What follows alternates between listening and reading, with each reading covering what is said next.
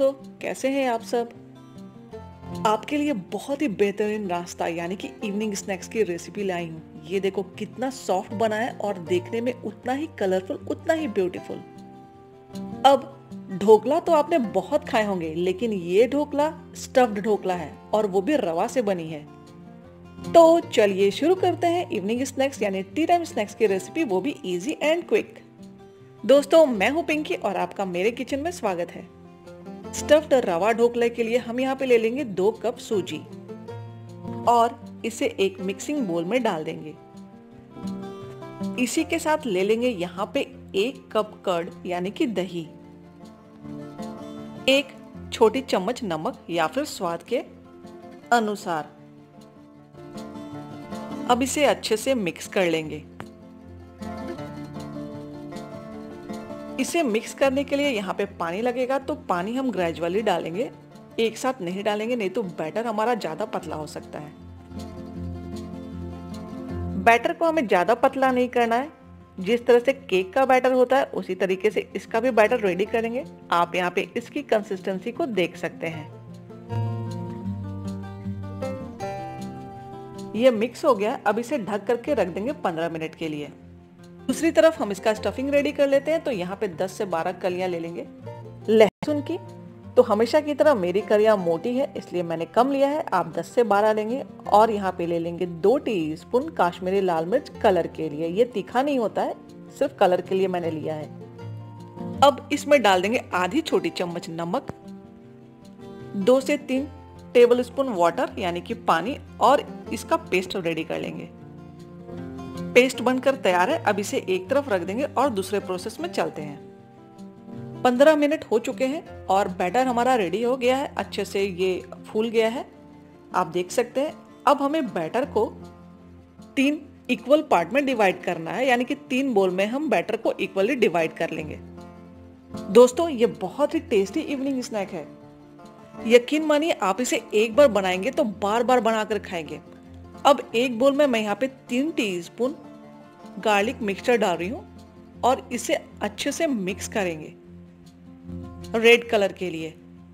तो दोस्तों, ऐसी बहुत सारी बेहतरीन रेसिपीज़ मिलेगी आपको मेरे चैनल पे। अगर अब तक आपने मुझे सब्सक्राइब नहीं किया है तो जल्दी से सब्सक्राइब करें ताकि मेरे वीडियोस की नोटिफिकेशन सबसे पहले आपको मिले। अब यहाँ पर डाल देंगे एक टीस्पून तेल।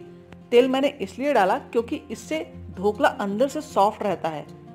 इसलिए तेल ज़रूर डालें, नहीं तो हो सकता है अंदर से ढोकला आपका थोड़ा सा हार्ड रहे। अब इसे मिला लेंगे।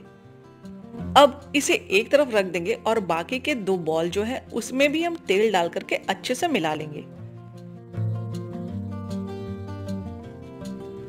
तो दोस्तों, ये इवनिंग स्नैक्स यानी कि टी टाइम स्नैक्स ढोकला की रेसिपी झटपट से बनकर तैयार हो जाती है।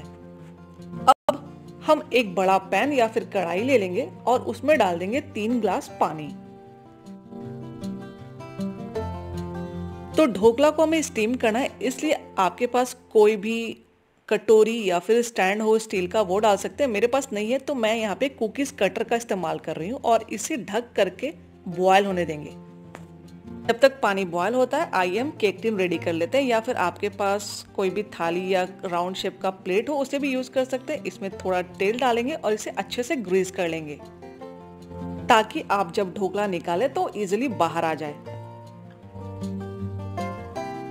अब इधर पानी भी बॉयल हो चुका है, तब हम फटाफट से एक बोल वाले बैटर में डालेंगे एक टीस्पून बेकिंग पाउडर दो पिंच बेकिंग सोडा आप यहाँ पे चाहे तो इनो का इस्तेमाल कर सकते हैं, मेरे पास नहीं था, इसलिए मैं बेकिंग पाउडर और बेकिंग सोडा का इस्तेमाल कर रही हूँ। और अब इसे इंस्टेंट रिएक्ट करने के लिए नींबू का रस डाल देंगे और इसे फटाफट से मिक्स करेंगे। और इसे केक टिन में ट्रांसफ़र कर देंगे।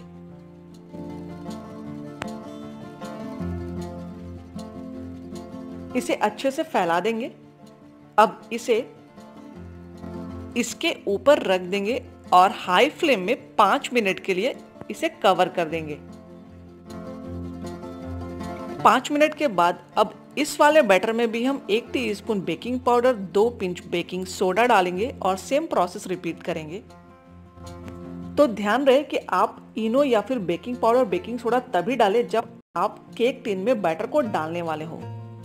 अगर आप पहले से डाल के रखोगे इनो या फिर बेकिंग सोडा तो आपका ढोकला बहुत स्पॉन्जी नहीं बनेगा। इसलिए तुरंत डालें और तुरंत ही केक टिन में इसे ट्रांसफ़र कर दें।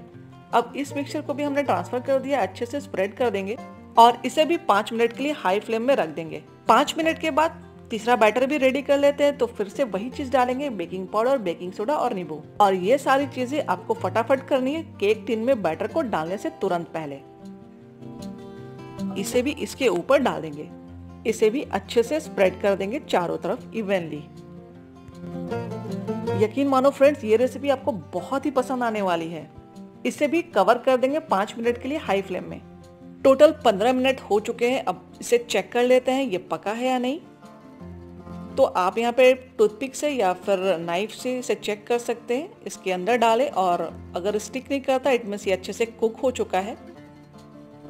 इसे निकाल करके एक तरफ़ रख देंगे। अब इसे ठंडा होने देंगे। हमें तुरंत ढोकला को इसके बाहर नहीं निकालना है। जब तक ढोकला ठंडा होता है, आइए तड़का रेडी कर लेते हैं तो एक पैन में एक टेबल स्पून तेल ले लेंगे। तेल जब गर्म हो जाए, तब इसमें डाल देंगे एक टीस्पून राई और इसे तड़कने देंगे। राई के स्प्लटर होने के बाद अब इसमें डाल देंगे वन टीस्पून सफ़ेद वाली तिल।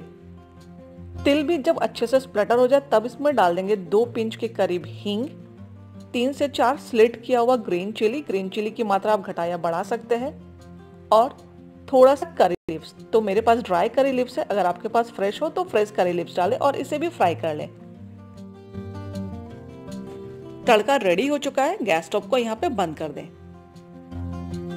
ढोकला ठंडा हो चुका है जब ये ठंडा हो जाएगा तो आप देखेंगे कि ढोकला खुद ही केक टीन के साइड से सेपरेट हो जाएगा। अब आप नाइफ ले लेंगे और उसके हेल्प से साइड साइड में थोड़ा सा और सेपरेट कर देंगे ताकि ढोकला इजिली बाहर आ जाए। अब एक प्लेट ले लेंगे और इसके ऊपर रख देंगे और इस तरीके से पलट देंगे और थोड़ा सा हम टैप कर देंगे ताकि ढोकला इजिली बाहर आ जाए। और ये देखिए ढोकला बाहर आ गया है, कितना ब्यूटीफुल लग रहा है। और ये परफेक्टली बना है। अब आप ही बताओ, है ना easy quick instant evening snacks अब इसे एक बार बनाना तो बनता है।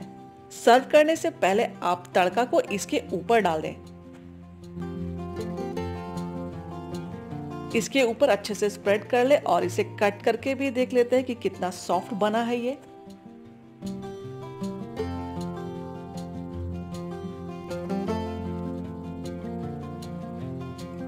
ये देखिए, बहुत ही सॉफ्ट बहुत ही कलरफुल और बहुत ही यम्मी आप इसे एक बार बनाएँ और अपना फीडबैक कमेंट बॉक्स में ज़रूर शेयर करें। आपको ये इवनिंग स्नैक्स यानी कि टी टाइम स्नैक्स ढोकला की रेसिपी कैसी लगी? रेसिपी पसंद आए तो लाइक और सब्सक्राइब ज़रूर करें। अगले वीडियो में फिर मिलते हैं। Till then tata bye bye thank you मेरे साथ जुड़े रहने के लिए आप मुझे फॉलो कर सकते हैं इंस्टाग्राम पे और फेसबुक पे।